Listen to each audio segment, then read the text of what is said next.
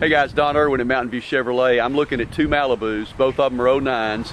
I'm also looking at my uh, used car manager Kevin, Hey guys. my general manager Jason. Hey doing? Jason. And we're looking at, at two 2009 four cylinder Malibu 2 LTs. Yes. Jason, tell me the difference. Well, basically, Don, this is a brand new car here. No, they can't see where you're pointing, so talk to me. Okay, I'm All right, sorry. just Brand- like you're in the court of law. here. This car's never been titled All right, that, that's brand new. brand new. The one on the right, one on the left. Okay. here, just we just bought at a GM sale. Has 70 miles on it. 70 miles.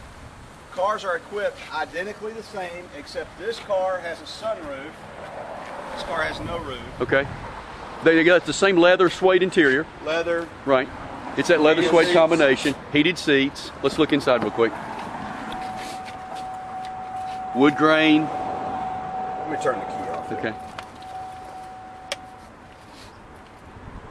Okay. Now, now let me let me. look. And it's same black granite. It's, a, it's Yeah, they're both the same granite. black granite color. Okay. There you go. Same identical Same cars, identical with the exception that the one that we're claiming as a quote used car Uh-huh. has has more options, and that's a sunroof. Has a sunroof. All right. It only has 70 miles on it. All right, red tag red tag on the new one. 23.8.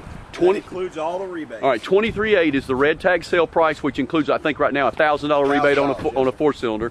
Both of them two LTs. All right, and again, you know, I'm hesitant to talk about pricing uh, on these videos, but again, you're fixing to, you're fixing to make an astounding number.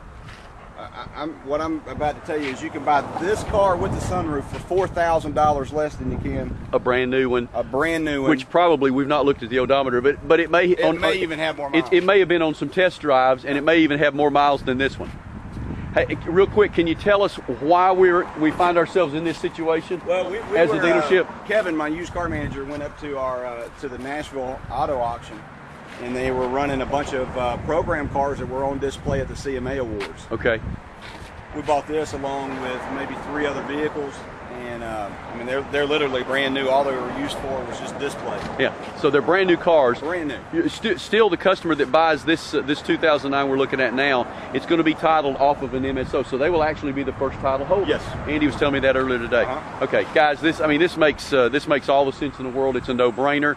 There's a 2009 new one uh, with the red tag price at uh, 24.8. Here's a 2009, what we're calling, quote, used, 20,000. Say 20,004, 20,005. $20,400. Yeah. Oh, guys, come see us at Mountain View Chevrolet. It, it doesn't get any better than this. 2009, 2LT, four cylinder Malibu. You come drive it off the lot for $20,400.